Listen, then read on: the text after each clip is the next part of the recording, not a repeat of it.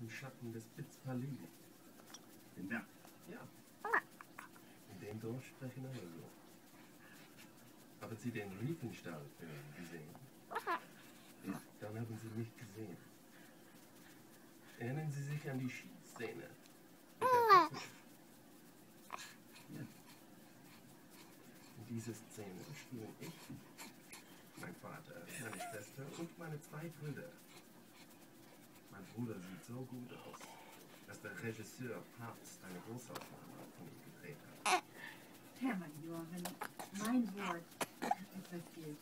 Ich kann nicht voll und ganz dafür verwenden, was wir überhaupt nicht behauptet. Er stammt wirklich vom Fuße des Kitzbühel. Er war in den Filmen